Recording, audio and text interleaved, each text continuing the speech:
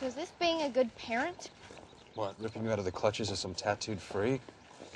I don't know, is it? Yes, it is. Making me do things that I don't want to do with people that I don't want to meet without the one person who could have made it better. Okay, the point is to make a good impression, and bringing Bug, it would have just been an an impression. And what is wearing a prom dress? What? I'm sorry. Wait, what? Is this too much? Is it?